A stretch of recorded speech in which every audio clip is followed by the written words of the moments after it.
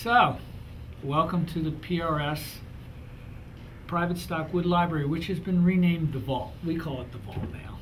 And this is where um, people come in and pick out woods for their private stock instruments. Typically, there are three ways in which we get private stock guitars ordered. One, a customer will call a dealer and start getting all the specs, and, and Tina's going to talk about that in a minute. And uh, when that order is put in place, uh, David will start making the guitar, and David will start talking about that in a minute. And there's a huge amount of detail that have to be covered, and eventually the thing has to be finished, assembled, and all that's approved. And Paul Miles will talk about that at, at some point in the future. But that's when a customer comes in and specs out the guitar of their dreams, right? So the second way that we do it is the dealer will come out here and they'll come into this vault and they'll start picking woods out and they'll pick a kit out like this with a neck blank and a headstock veneer and a fretboard and a top and a back. Or with an acoustic guitar, they'll pick out uh, sides and backs and uh, spruce tops and neck blanks and that kind of thing. And they'll pick out what they think could be the guitar of somebody's dreams and they'll order it and they'll take a chance mm-hmm. hoping some customer will fall in love with it, right? Right. It's very often in the beginning the dealers fell in love with it and the guitars never made it, right? Right.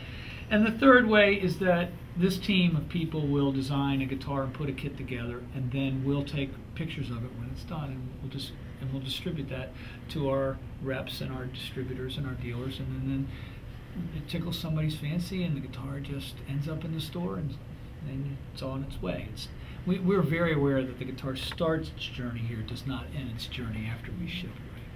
So Tina, can you talk a little bit about what happens when a customer comes into a store and they've been looking at a private stock calendar and they've decided, you know, this is what they want. They saw a friend's guitar. How does it normally work? Uh, typically, they'll talk over the specs with their dealer, and their dealer will advise some different specs with them or work through a little bit of the bugs with them. And then from there, the dealer will email me all the specs. Um, if there's something that they've left out that we have a question about, we'll go back to them and say, you know, you didn't list this here. What would you like for this? Here's your options. And that'll continue to go back and forth until we've gotten every specification that we need to build the guitar straight and that they're clear on everything that they want and then we will price it and once everyone's there's been a go on it everybody wants to move forward it's put in through the production line so then what happens david uh, you get the order from tina how does it work david i'll, I'll get the order from tina and i will look it over and uh, occasionally there'll be uh, more details that that didn't come up yet, in which case I'll go back and it'll be part of that back and forth between her and the and the dealer.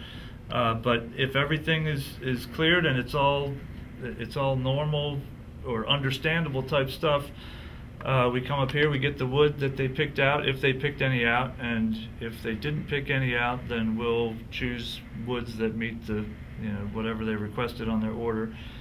And typically the, the first thing we usually do is order the fingerboard since that's something that's often done out of house and that takes that takes a while so we'll we'll get the fingerboards together uh, we'll write up a purchase order and, and get that moving we'll send the fingerboards to Pearlworks and then while that's happening we'll start running the neck blank uh, there's a, you know a lot of dry times involved with uh, the neck blanks and occasionally the tops and fretboards and stuff. So we'll get that stuff moving and then a couple weeks later when the fingerboard comes back, we typically have a, a neck that's ready for it. Fingerboard comes in, we glue the glue that onto a neck and just start moving. Then when when we've got like a whole neck basically fretted and ready to go, uh, at that point we start running the body since that's usually just a couple days uh, to put the tops together and put the top in the back, run through the CNC, and glue the neck into the body and send it, uh, you know, finish sand it, double check everything, and send it on its way to Mr. Miles in the finish room for staining and finishing. So then what happens, Paul?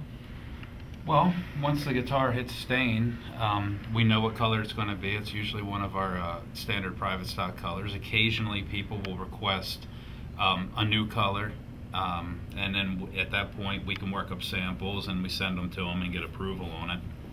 But for the most part, it's private stock colors. Uh, starts getting stained and grain filled and rolls down the line. And at every stage, uh, the guys out on the line are reading the spec sheet so that we're all clear all the way through the line uh, what the guitar gets and how it's going to look after it's done. And you know, there's always questions and ideas we may have with the guitar that may make it sound better, look better, uh, play better, whatever. And when we talk to Tina, and she'll go back to the dealer or the customer, and uh, and get approval back and forth. So it's sort of a uh, a work in progress all the way till the guitar is done. There, there's always a question, and um, we're always double checking and triple checking information as, as it goes down the line, so that uh, even though the it's the customer's guitar, their dreams, um, they might not know every aspect in and out of what we're dealing with. So it's nice to you know, give suggestions and, and, and try to push them or prod them along a certain path for a better instrument. But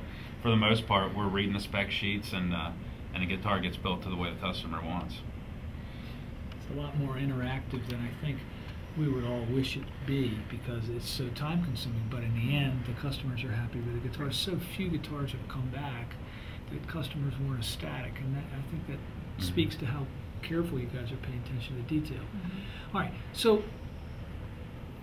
the second way is a dealer comes to the vault, like an Experience that's coming up, and does exactly the same thing we talked about, except that the order and the specs were initiated by the dealer, not by the customer. Right, and the dealer selects all the woods for that guitar themselves.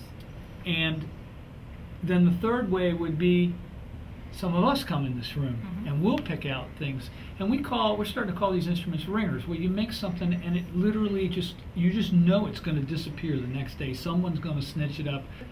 And for me, uh, and I carry this flag, I want it not just to be stunningly beautiful and easy to play, I want it to sound remarkable. So that's really important to this team as well. So, that's it. That's how we do it.